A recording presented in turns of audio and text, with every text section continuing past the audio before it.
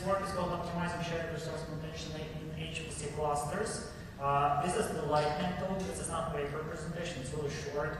I'm supposed to present it actually tomorrow during like Wednesday lightning talk session, but I have to leave today's evening to Oregon to, to present Antwerp, so I. I just asked to you know, move a little bit my presentation. Hopefully, I won't take a lot of time for my lunch. So this work, just want to throw some ideas. This is work in progress. So I don't know all the answers yet, but I'm striving to find sort of not only answers, but also more problems to work on. So if you have maybe will have some ideas, I, I would be glad to listen to that. So this work is about high-performance computing clusters and namely shared resource contention and all of them.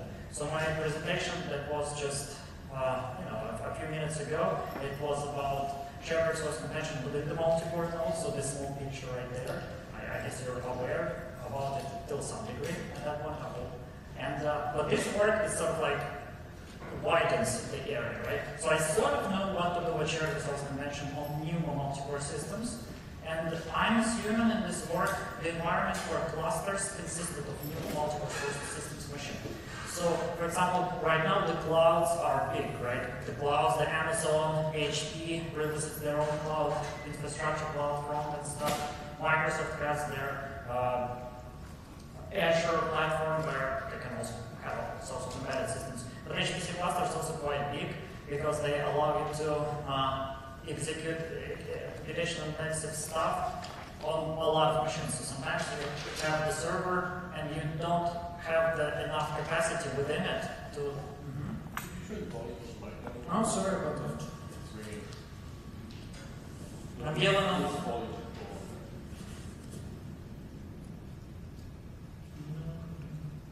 It's it's minimum actually. I'm yelling on myself, so I could. Uh,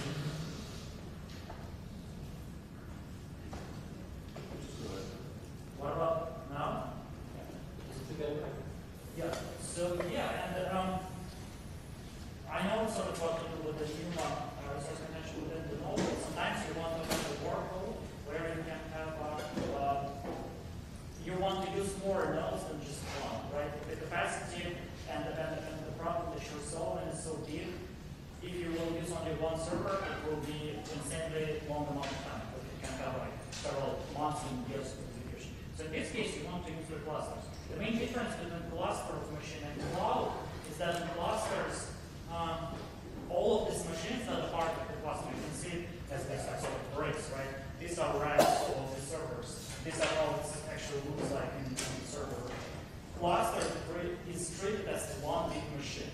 So you have these servers, they can, you have the network among them, and they're treated as one big machine to solve one or several big tasks. So usually, um, applications there, they have the several processes of execution, but in order for them to run several machines, they have to exchange data exclusively between each other. They cannot just use the one memory footprint like multiple applications.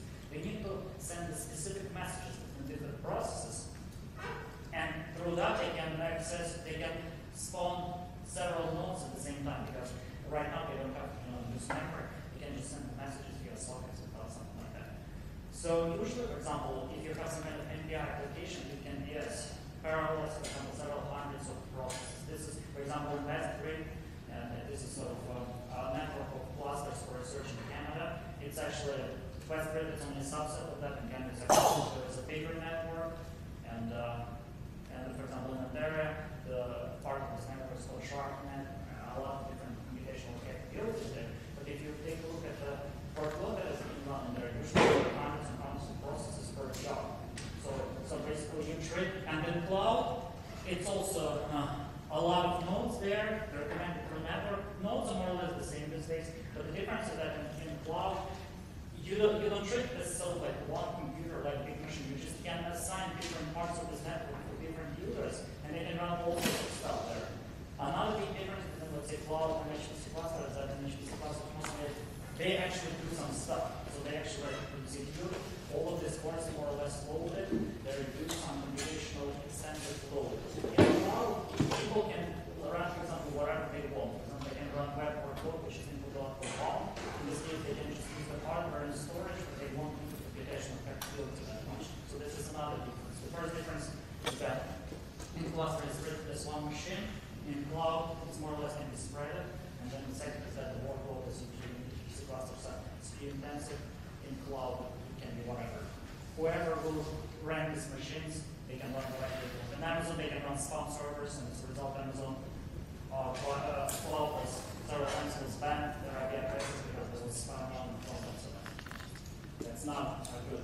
But then HPC clusters that won't happen because usually um, administrators of the cluster know who you know submits the jobs. For example, in Canada, in WestGrid, and SHARCNET, you've gotta s- s- apply for account. You gotta like have this account, and you can't have this account if you're a researcher in Canada because it purposes. Similar clusters available in the US, way bigger than in Canada, but still, and the process is more or less the. You gotta submit a request, gotta, they gotta confirm that you're a part of the university somewhere, and then submit the jobs.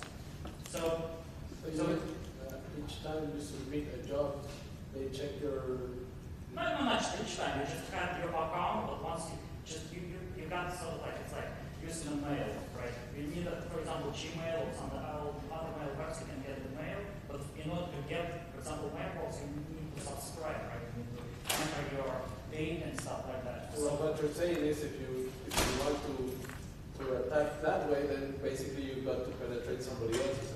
Yeah, well, yeah, you can hack, I guess, but there's no really need to hack HPC clusters for scientific. A lot of them is used for industrial research as well, but the, you the one side is just for scientific purpose. The point is that in order to create an account, they need to confirm that you're part of the university. It's, it's just if you're some guy just out there, you to do it. So I have this like several uh, machines that are connected through the network, right? This green stuff. People can submit the jobs to cluster from whatever. They can submit via internet. and There is sort of like a gateway between the cluster and the users. It's called head node. It can, it can have a lot of names, but basically it just transfers, it just accepts the jobs, and then these jobs are run on the nodes. So uh, the users, they submit the jobs during the time they submit the job, they can specify how many nodes they want or how many processors per node they need.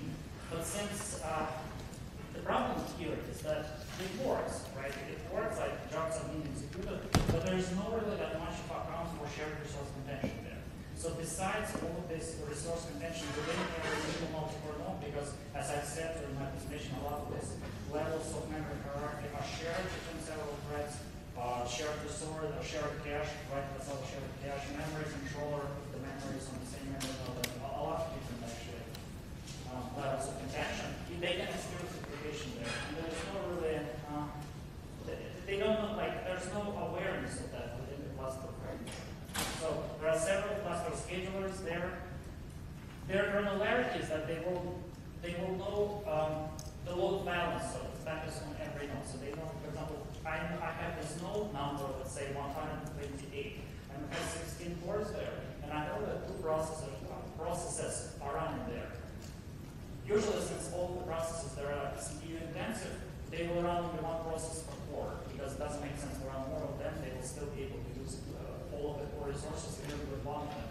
But uh, what they, what the cluster scheduler will tell is that if I have two processes on this machine, I can schedule 14 more processes because there is 16 total cores. But it won't tell you, okay, maybe, maybe, I just don't want to. And it will schedule any pretty processes there that it has in the queue. But like, the approach there would be like, I don't want to schedule, let's say, this uh, working process there, because they're memory intensive, they will compete for memory hierarchy on this machine. So probably I want to spread them somehow apart. Or, for example, if I, on the other these processes and I know that they're peaceful, right, they don't compete for memory, so I can schedule them on the same node, that's fine. So it can actually increase uh, the performance of the cluster because the con- contention will be taken into account. So, you know, and this is within the NUMA multi-core node. This that I was describing partially in my presentation. But uh, in the cluster, there is also network, right? So, since most of the cluster that are spawned in several nodes, tens of them, even hundreds of tens of them. They communicate quite a lot. So because of that, uh, naturally you want to schedule them. There is this trade-off, right? You want to schedule them and on as few nodes as possible so that you decrease the amount of traffic that is transferred in on the network because it's slower that way, right? You want to schedule them as low number of nodes as possible so that it will be faster. Your access the exchange data locally on the machine. But on the other hand, if you schedule them up, like together, then they will experience congestion. So you want to, you want to kind of, kind of have to straight up between, uh, you know, communication overhead and the contention within the network source. I know that there is a contention within the multi-core server, right? I know that in, uh, exchanging data over the network incurs overhead. I don't know that much about different sort of bottlenecks in the system. So for example, uh, there is this active hardware within the cluster, different switches and routers and stuff like that. They might be the bottleneck potentially, because by the existence of them, they're also the single point of exchanging all this traffic. And uh, maybe if we can target them differently somehow, we can maybe reduce this contention. Then um, also there is contention for limited resources on the machine. It might not be in memory hierarchy, but the problem is there might be some kind of graphical processors or something like, for example, on Amazon you can rent instances for pretty much the critical cluster within the cloud on Amazon. But these instances, some of them, they're quite expensive, but some of them will have only CPU, some of them will have GPU. So on GPU, certain kind of workloads these, these days, so on servers, people use graphical processors, not so much for graphical stuff, but just for vector and something like that. So because these processors, they're naturally implemented very efficiently to solve this like single instruction multiple data. So like streaming or something like that. So because of that, people will want to rent these instances, create a cluster, use this graphical processor for their like specific workload. And they do actually right now. But uh, the problem is this graphical inter, uh, processor can be a bottleneck, right? Because it's only one or few of them, whereas there are a lot of cores. And you can, you maybe want to, for example, run uh, this workload. You can run potentially this workload on general purpose cores as well. But on graphical cores, it will be faster. So there is this trade-off like you want to spread your work. You have more cores, usual ones, but you have GPU, which is faster, and then make sure you want to use GPU by as many processes you want. But then uh, you also want to get the job done faster. So it may be worthwhile to, to you know schedule on more cores rather than on one GPU, or vice versa. to this bottleneck. So I don't know the answer to these questions yet, but the point of this lightning talk is just you know throw some ideas there, as was proposed by symposium organizers. So I, I do that, right? And if you have any, you know, other ideas or kind of other potential sources of bottlenecks can there be in such a system, pretty much network of multi-core machines, I would be happy to listen to. Thank you. Perfect.